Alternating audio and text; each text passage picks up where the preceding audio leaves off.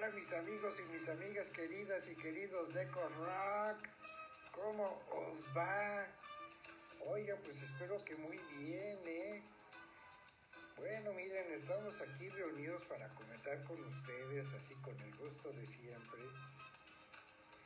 lo que es la edición de Eco Rock que corresponde al primer sábado de noviembre de este 2021. Recuerden que nuestras transmisiones son el primer y el tercer sábado de cada mes. Y pues bueno, como siempre lo hago, vamos a compartir con ustedes eh, pues la página para después pasar a ver cómo está integrada la, la edición. Vamos a ver aquí.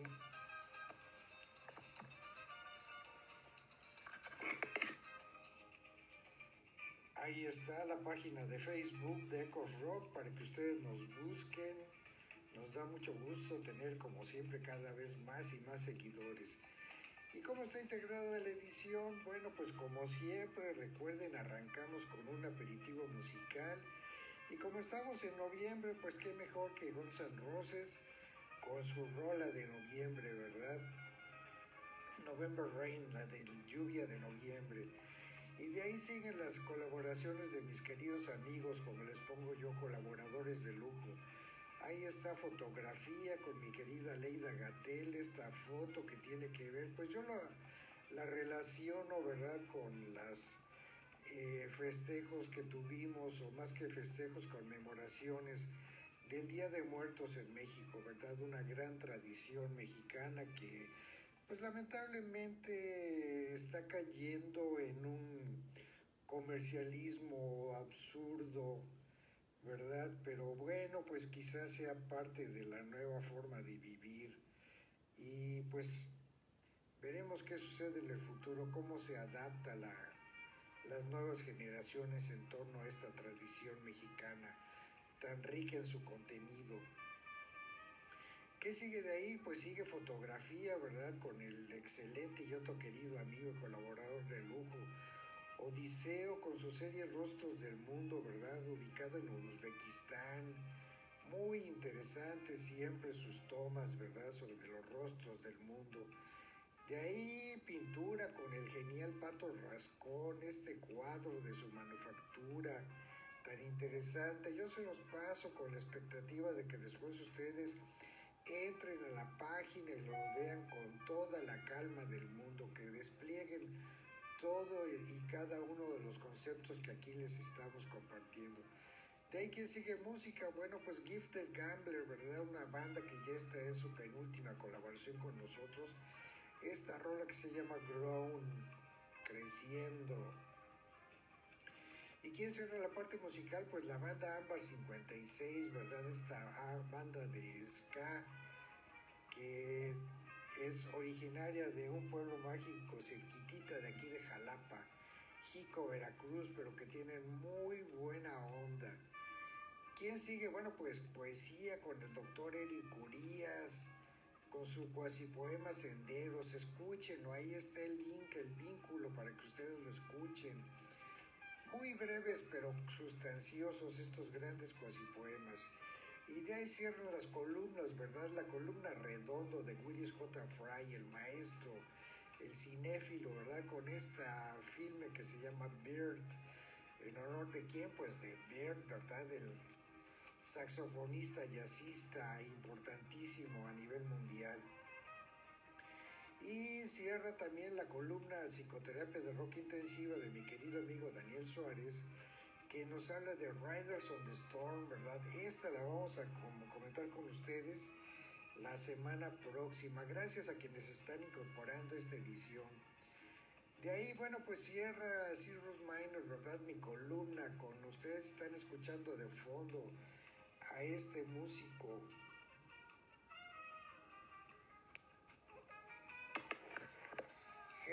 Albert, un músico que pues yo pongo aquí en la columna que se identifica mucho con México. ¿Por qué? Bueno, pues vamos a ver ahorita, que voy a comentar así.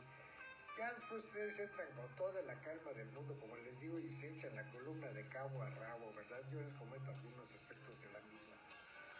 Pues fíjense que Este cuate Jeff Albert ha sido un, músico que se ha distinguido a lo largo de los años, desde la época de los 60, 70, por tener una propuesta musical un tanto cuanto diferente, ¿verdad? Se sale de los esquemas a los que estábamos acostumbrados en ese momento y bueno, pues ha trascendido, ¿verdad? Ha sido un músico importante, ha sido un músico de referencia, pero yo les digo, ¿por qué se identifica mucho con México? Bueno, pues se identifica con México porque dicen quienes lo conocen, ¿verdad? Quienes se han estudiado su trayectoria, que ha sido influenciado en su forma de tocar la trompeta por el estilo de los mariachis mexicanos, ¿verdad? Pues que músicos más representativos de México hay que los mariachis, ¿verdad? Pues nadie. Y bueno, pues resulta ser que Herb Albert eh, tiene esa influencia, ¿verdad? Entonces, eh, en, sus inicios, en sus albores musicales, pues se identifica muchísimo, ¿verdad? Con nuestra forma de, de, expresar a través de ese instrumento de viento que es la trompeta. Bueno, pues fíjense que Herb Albert en realidad se llama Herbert Albert Goldberg. Y pues como sucede con los artistas, se cambia, se modifica su nombre para quedar simple y sencillamente como Herb Albert. Él nació en la ciudad Gaba de Los Ángeles, en el barrio de Boyle Heights, el 31 de marzo de 1935, así es de que ya en estas alturas de la vida pues rebasa los respetables 86 años de edad. Afortunadamente pues sigue en plenitud, sigue tocando, sigue produciendo y sigue haciendo otras cosas interesantes, ¿verdad? A los que se dedica, como es por ejemplo pues ser escultor, ser pintor y sobre todo ser filántropo, ¿verdad? Algo muy importante en su, en su vida. Fíjense que él de hecho a, la edad de 8 años, empieza a, tocar eh, porque pues sus, padres tenían, eh, sobre todo su madre, se dedicaba a dar clases de violín, su papá era sastre, pero le, le gustaba tocar la mandolina. Entonces, esos son los antecedentes. Herb tiene un hermano, ¿verdad?, que, que toca la batería, pero no trascendió musicalmente a la altura de Herb Albert. Entonces, eh, esas son las, las, grandes referencias musicales de, de Herb Albert, quien, eh, bueno, pues empieza a, distinguirse, ¿verdad?, como un buen trompetista, y siendo pequeño, pues empieza a tocar, ¿verdad?, y toca fundamentalmente en sitios donde habían bailes, pero en ese momento surgen sus inquietudes como productor musical, pues ¿qué cree que empieza a grabarse, verdad? Empieza a grabar sus tocadas. Y así va creciendo, ingresa al servicio militar de los Estados Unidos, ahí tocaba en las ceremonias militares. Eh, tiene una breve incursión en el terreno actoral, pero pues no le va muy bien. Y decide entrar a estudiar en la Universidad de California del Sur, en donde se gradúa en la licenciatura de música entonces, bueno, pues es una persona que ha sido formada como músico, ¿verdad? Como músico que ha estudiado para hacerlo. Y entonces Albert, bueno, pues va creciendo de tal suerte que fíjense, cuando tiene la temprana edad de 22 años, se hace amigo de un productor musical que se llamaba o se llama Lou Adler. Y con él pues eh, empieza a componer, ¿verdad? y graba eh, algunas rolas, por ejemplo una de ellas para el este genial cantante Sam Cooke que se llama Wonderful World. Recuerden, ahí les ponemos los vínculos de YouTube para que así como en este momento estamos escuchando de fondo musical, ustedes también lo hagan y acompañen la lectura, en este caso con una de las rolas de referencia. Y bueno, Lou Adler es un eh, productor que se distingue más adelante por producir a agentes o a grupos como, por ejemplo, Mamas and Papas y a Carol King, por decirles algunos nombres. Eh, Herb Alpert inicia de manera un tanto cuanto tímida su carrera como solista, inclusive lo hace con el seudónimo de Dor Alper, pero eh, pues en un momento dado eh, decide eh, darse a conocer con su verdadero nombre o con su verdadero nombre artístico y es en este momento también cuando se hace cuate de otro productor de nombre Jerry Moss y esto sucede ya por el año de 1960 y en la casa de Herb, en el garage de la casa de Herb, pues hacen un estudio, ¿verdad?, para grabar y ahí empiezan a hacer sus primeras producciones bajo el nombre de Carnival Records, pero se dan cuenta que ese nombre ya existía y cambian la denominación por la de A&M Records, o sea, Albert and Moss Records, un sello discográfico que se vuelve, se convierte en una gran empresa a nivel mundial y está catalogado como la disquera independiente más importante del mundo hasta que llega un momento en el que ellos la venden.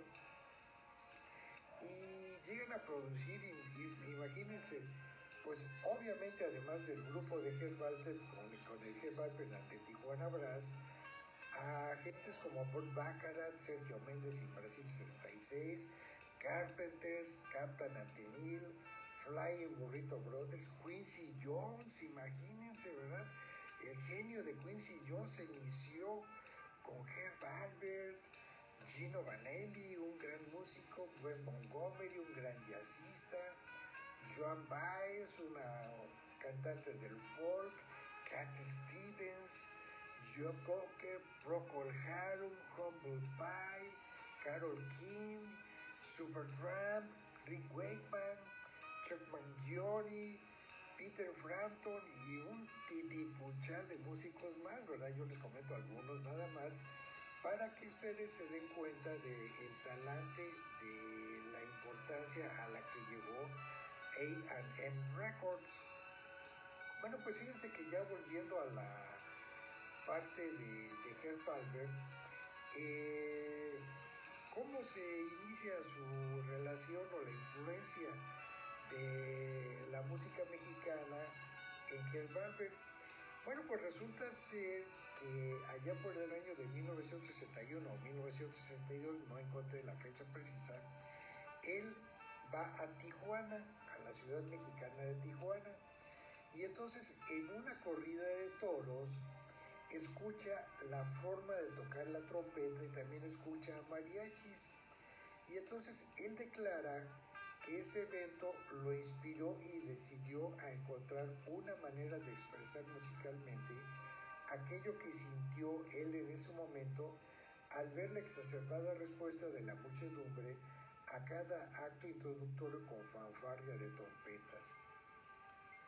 Y es así que inclusive el primer álbum de Herb Alpert con los Tijuana Brass se llama The Lonely Bull, el toro solitario. Y bueno, pues eh, a pesar de que a mí no me gusta mucho la que llaman fiesta brava, pues de cualquier manera es importante conocer este, este detalle, ¿verdad? Porque pues de alguna forma muy eh, precisa nos dice el por qué, ¿verdad? Eh, Herb Alpert se identifica mucho con la música mexicana, en este caso con la música de mariachi y pues obviamente con la música de nuestro país, de tal suerte que pues inclusive este álbum que vamos a comentar un poquito más adelante, pues está muy identificado, ¿verdad?, con nuestro país, con México. Eh, él, él, sigue explorando... Eh, en, los ritmos musicales y tiene algunos giros musicales, de tal suerte que pues llega a, a grabar rolas eh, que son muy conocidas como The Test of Honey, Whipped Cream y Lollipops and Roses.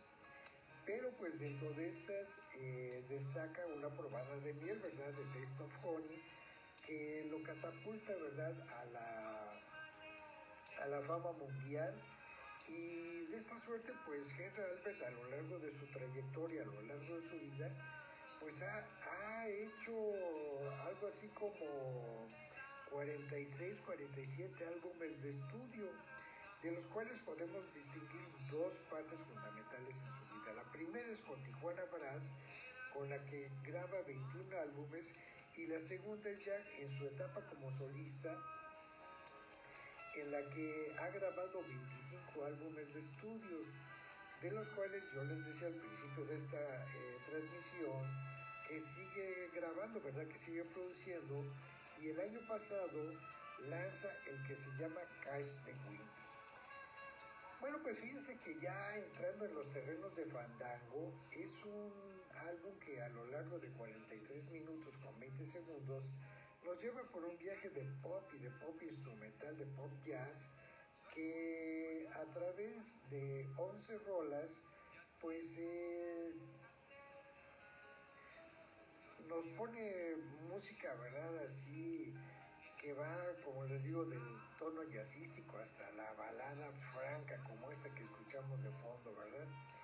Y en este álbum, pues Herb Albert se hace acompañar de grandes músicos, ¿verdad? Y de grandes compositores que enriquecen eh, pues el, contenido, ¿verdad? De este, de este álbum. Y dentro de estos, yo digo aquí que hay un reencuentro, ¿verdad? De Herb con, con la música mexicana, porque pues fíjense que toca con él el que está considerado el mejor bajista de jazz mexicano, es Víctor Ruiz Pasos. Y yo a Víctor Ruiz Pasos pues tuve la oportunidad de verlo en vivo dos veces. Una de ellas cuando aquí en la Prepa Juárez había un tradicional baile, ¿verdad?, de graduación, cuando salíamos del bachillerato, y vino a tocar con José José, acompañaba a José José, ¿verdad? Y un poco tiempo después de ese espectáculo de verdad de José José, pues yo lo vi tocar aquí con su grupo de jazz y me cae que le tupiera, pero de lo lindo. Bueno, ya para ir cerrando eh, esta edición, yo los invito a que entren después en la página de Ecos Rock y, como les digo, con toda la calma del mundo, eh, yo, les pido ya, que lo lean ¿verdad? tranquilamente y vamos a a despedirnos les voy a leer textualmente eh, esta parte de, la trayectoria de Herb Albert que se menciona en su página oficial y dice lo siguiente. Herb Albert, en relación a este álbum, se propuso hacer un disco específicamente para el mercado latinoamericano y terminó produciendo una obra maestra a la altura de los mejores discos de Tijuana Brass y en algunos aspectos quizás mejor que cualquiera de ellos. Fandango tiene un sonido más auténticamente latinoamericano que los cosmopolitas discos de Tijuana Brass, utilizando ritmos de México a Sudamérica, añadiendo una capa de cuerdas o sintetizadores y las elevadas trompetas de Herb. Y bueno, pues como les decía, hay otras este, facetas muy interesantes de Herb Albert en las que destaca, ya les decía yo, la de ser pintor, la de ser escultor, pero la de ser filántropo también. Y entonces como filántropo, pues eh, tiene varias eh, aportaciones en, beneficio de programas educativos y artísticos. Eh, entre ellos está la Fundación Herb Albert, pero también hay otros proyectos en los que ha intervenido como es, por ejemplo, es apuntalar el programa de posgrado del Instituto Henry Jacob de Jazz de la Escuela Música, Música General de la UCLA, o sea, la Universidad de California en Los Ángeles, la cual fue fundada en 2007 y eh, pues es muy, es, muy importante, ¿verdad? Eh, otro es la Escuela de Música Cal Arts, a la que después le dan el nombre de Herb Albert, y esta se distingue por dar becas musicales. Eh, y también eh, contribuye al rescate de una escuela de arte que se llama Harm School of the Arts la Escuela de Artes de Harlem, en donde con su aportación no solo evitó que la escuela cerrara sus puertas, sino que inclusive la refuerza y la proyecta, ¿verdad? Y bueno, yo me despido de ustedes ya con esta frase de Herb Albert que dice lo siguiente, tocar la trompeta produce una cierta satisfacción y energía, una sensación para estar, de estar realmente en mi elemento. Me apasiona lo que hago, ya sea pintar, esculpir o tocar. Solo intento crear lo que surge en la espontaneidad del momento. Pues amigos y amigas queridas y queridos de Rock, yo de esta manera despido esta transmisión, vamos a cambiar la cámara para enseñarles la página para que si tienen a bien pues me sigan, ¿verdad?